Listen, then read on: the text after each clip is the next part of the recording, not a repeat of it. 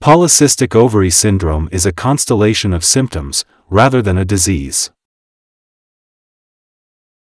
The cause or causes are not entirely understood. In a normal menstrual cycle, the brain makes the hormone GnRH, which travels into the pituitary gland. The pituitary gland then releases two hormones, FSH, follicle-stimulating hormone, and LH, luteinizing hormone, which travel in the bloodstream to the ovary. These hormones cause about 6 to 12 follicles to be awake and start to mature. As they are going to mature, they release estrogen hormone and cause the lining of the uterus to begin to build up. Then one of those follicles tends to grow a little faster and becomes dominant. Then this dominant follicle moves to the edge of the ovary to produce an egg. After the egg is released, the follicle then seals over and is called the corpus luteum. The corpus luteum starts producing progesterone. This progesterone has a negative feedback effect on the GnRH to reduce it and keep its frequency in a normal range. Other follicles disintegrate in the next few days. This egg then travels to the uterus. If fertilized, it stays in the uterus.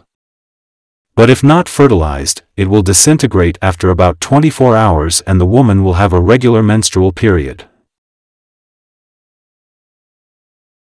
One of the primary abnormality in PCOS is the abnormal release of GnRH.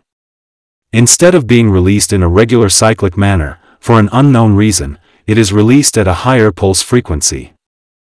This increased pulse frequency leads to an increase in LH over FSH. This lower FSH causes follicle, not maturing enough to become functional, and can't ovulate. If the follicle does not ovulate, a corpus luteum is not created, and without a corpus luteum, there is no surge in progesterone. The lack of progesterone leads to a higher pulse frequency, seen in PCOS. The follicles that don't ovulate are cysts that form on the ovary with PCOS. Multiple cysts on the ovary represent past failed follicular ovulation events and are characteristic of PCOS.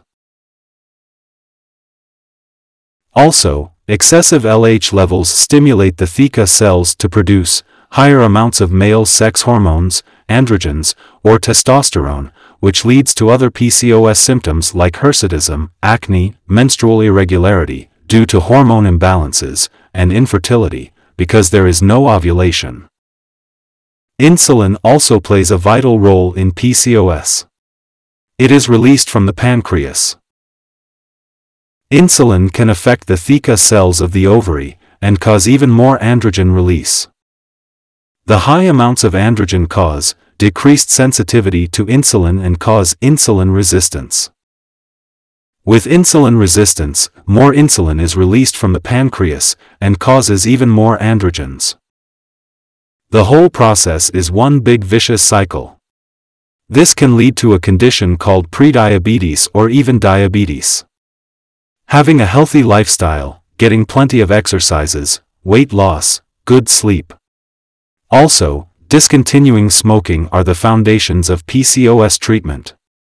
There are also medical treatments available for polycystic ovary symptoms, and should be given by a specialist under close supervision.